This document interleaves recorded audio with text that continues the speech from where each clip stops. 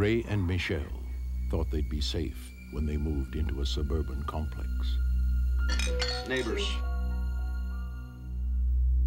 But at Woodside condominiums, a rapist is stalking women. I thought it was supposed to be safe around here.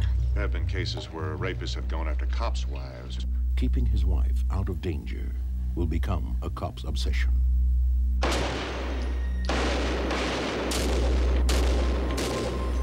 You're worried about your wife, go home, talk to her, buy her a can of mace. Keep walking, keep walking. Look around, look around, look behind you. you. What? I am not a police cadet. No man can be trusted.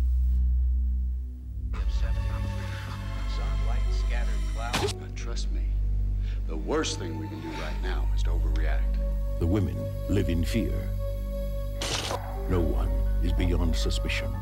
Come on, you don't think that I had something to do with any of this? What do you expect me to think, man? You're the red height, you got blue eyes, no alibi. Yeah, same as you, pal. I can't take this anymore. Please don't move!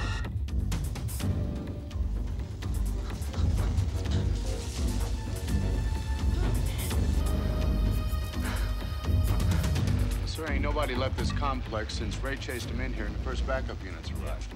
Hart Bochner, Everybody's a suspect.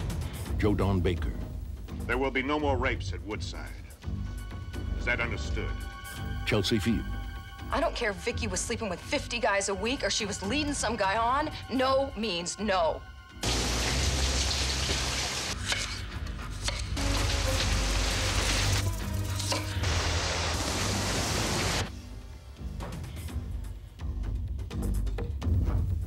no one is safe in the complex of fear.